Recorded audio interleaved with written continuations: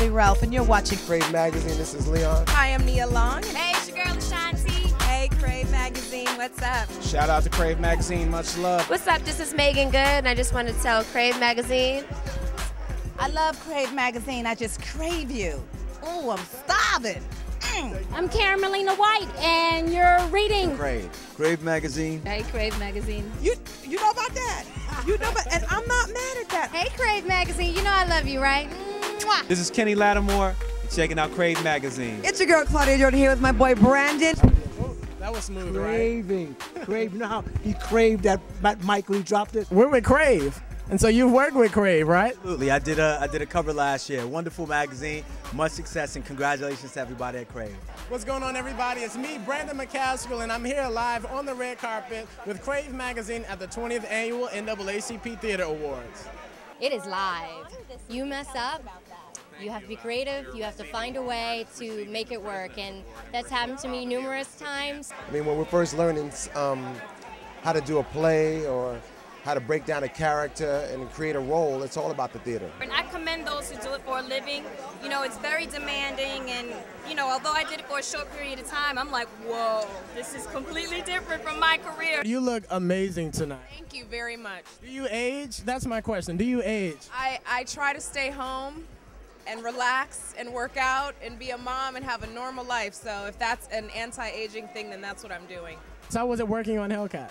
It's great. It's great. We have, you know, a young group of actors. We have, um, what's wonderful for the CW is it's very diverse. You know, we've got a show with um, Robbie Jones, uh, myself, um, DB Woodside, you know, so um, you're seeing a lot more color, a lot more flavor. You're seeing uh, music, you're seeing, um, you know, great storylines and, and kind of this all-inclusive feeling. So I'm really excited to, to bring that uh, to everybody come September 8th.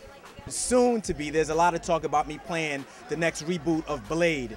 So I might be following Wesley Snipes' uh, footsteps very much uh, because of the character that I played in Tekken, which is Raven. Uh, so when you have the opportunity, check that out. Now we're with one of our cover superstars, Brian White. How you doing, man? I'm doing great. I'm doing great. How you doing? Your career, wow. It, it wasn't overnight for you. Oh no, no, it's a marathon to keep a career going in Hollywood. It's not a sprint.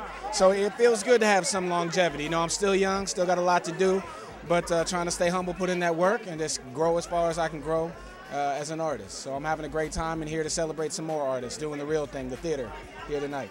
And speaking of theater, we're at the NAACP Theater Awards. Now you dance and you've done theater work as well. Now tell us about some of that. Yeah, I have a dance company back home. I started in theater, so it's, it's very humbling and flattering to be involved as a presenter tonight. You know, the real talent always starts in theater and develops from there, so I'm here to pay respects to those that are doing it just starting out and those that are doing it real big in theater. Here on the red carpet with Miss Sheryl Lee Ralph. Thank you. It's good to be here. Now, I actually saw you when it came down to FAMU and performed this past spring. Amazing. Wow, so many students saw that production. I mean, it's amazing that so many of you are actually in the business in such a short amount of time.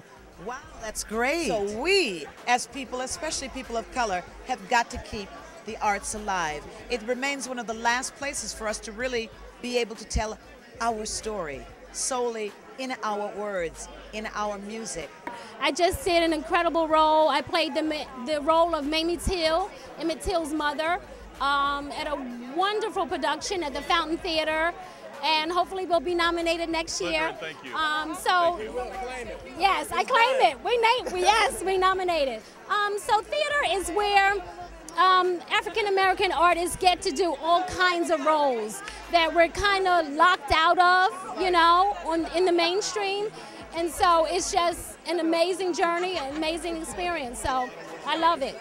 Rush because I am hosting tonight's um, venue of the Theater Awards for NAACP, so I'm very happy about that. But I'm scurrying through here and hit the stage so I can start the show. Yes, yes. The movie is coming out in March, and cross your fingers, it may be a series. So that's going to be great. I'm with Stacey Dash and Lauren London. It's an awesome piece. My girlfriend is the writer, Stacey A. Littlejohn. And I'm happy that I'm doing some things that I like to do coming back into my career. You've been working House of Pain and a lot of other projects. What can we expect from Lance in the future? Uh, more episodes of House of Pain, and I'm, I'm concentrating on my film career also. So it's a lot of good stuff coming up. And you know, with Krave, we love fashion. And can we get this suit and these shoes? Can, just can I have it? yeah, I'll, I'll, I'll let you have it after I'm done. You can only wear it once anyway, so. All right, cool. Um, it's called Jumping the Broom. Myself, Angela Bassett, Paula Patton, Loretta Devine. Um, just a lot of amazing people, and it was really, really fun. So I think it comes out Mother's Day. Yeah, I'm back in the studio working on my sexy. I'm hanging with the boys. I'm doing that sexy R&B. I'm hanging with the boys. The Trey Songz, the R. Kellys. Got to give you that little sexy vibe. Represent for the ladies. So, thank you. I appreciate it. Lottery Ticket is out in theaters right now. I'm very excited. I get a chance to be one of the, the lead roles opposite Bow Wow and Brandon T. Jackson. It feels good. I'm just blessed to have such a career that's been constantly growing, you know, from Notorious to Fame to Lottery Ticket. I'm, I'm, I'm very fortunate. What's up, man? Yeah, I'm having a great time, you know?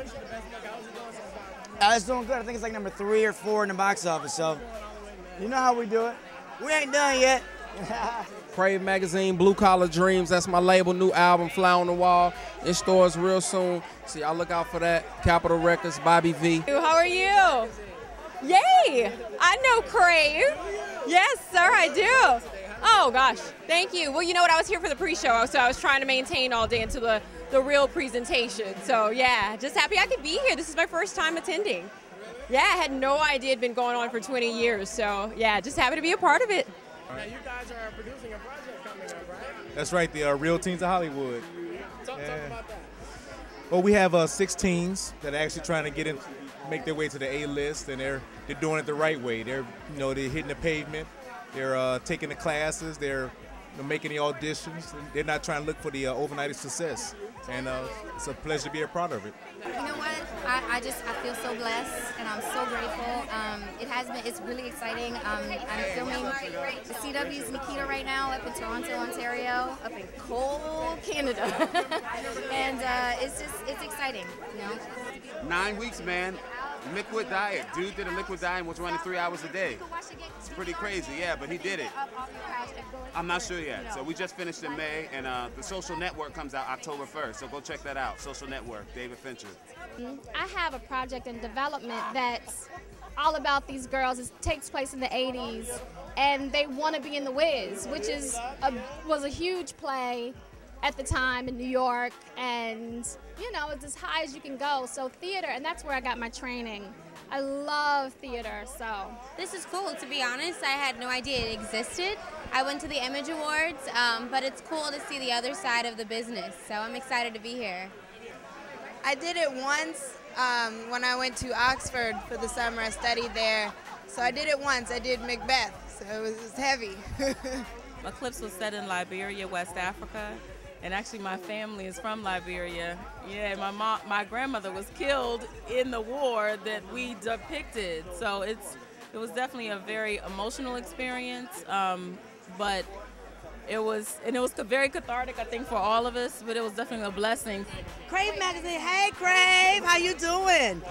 I'm Cece Antoinette, and I'm with the cast of Bronzeville. We're nominated Best Ensemble, Best Play, Best Director, Best Sets. Actually, we won earlier for Best Set, so yeah. Y'all are already on a roll. We're on a roll. And we, we have an after party too. You want to come? We'll give you the invitation later. Now we talked to the stars on the red carpet about their upcoming projects and being excited about the NAACP 20th anniversary of the Theater Awards. But right now we're going to talk about personal style. A man in a suit, a lady in a dress, elegance, fit, style, swagger, all of it right now coming from your favorite celebrities. Krave Magazine, y'all.